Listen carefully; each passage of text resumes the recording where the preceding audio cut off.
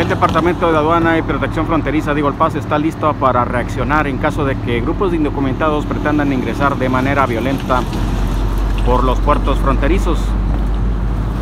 Han movilizado más equipo de protección hacia la guardarraya, barreras de concreto con alambre de púas que pueden colocar para impedir el paso. Además, el grupo antimotines de elementos federal está listo para reaccionar. En eso se han entrenado durante simulacros que han hecho de manera frecuente. Al finalizar la ley del título 42, existe el temor de que grandes grupos de indocumentados se estén dirigiendo a la frontera, e intenten ingresar a los Estados Unidos de manera ilegal.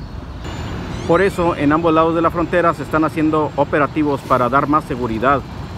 El Departamento de Aduana y Protección Fronteriza pide a los indocumentados usar la aplicación CBP One para buscar una cita de asilo o refugio en los Estados Unidos. Este tipo de procesos debe hacerse de manera ordenada.